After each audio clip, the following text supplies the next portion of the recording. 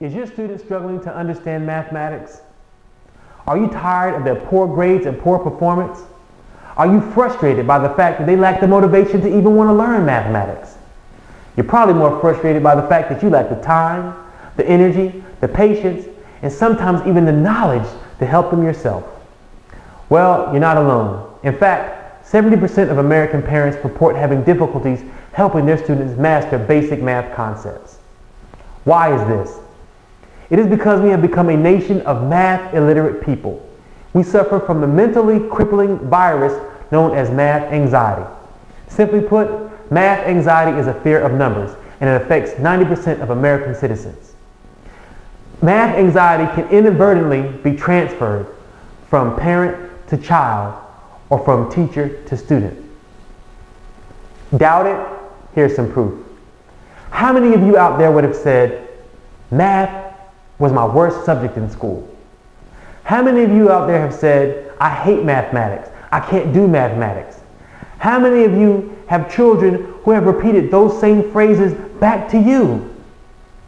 Math anxiety is a mentally crippling virus that is contagious and it is transferred inadvertently from parent to child, from teacher to student. Technology is increasing every day. And the math is the language of technology. At one time, the United States dominated the world in math, science, and engineering. We sent a man to the moon, and we made some of the best products known to man. Now, our jobs and our technologies are being outsourced to countries like China and India, where people have placed a higher importance on math education.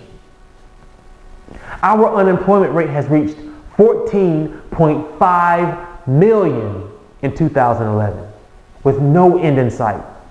In the U.S., two out of every five engineers is foreign born.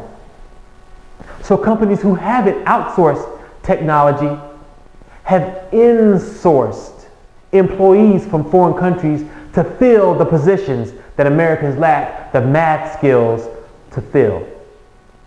Economists have already predicted that if we maintain our current educational track, if we don't do something to help our students master basic math concepts, we will become a third world country within 50 years. Hi, my name is Chavez. I'm one of the lead learning specialists here at Math Savior. We're dedicated to helping your student meet exceed state standards, national standards, and international standards. Please visit our website, mathsavior.com, and find out what you need to do to help your student compete in this global economy.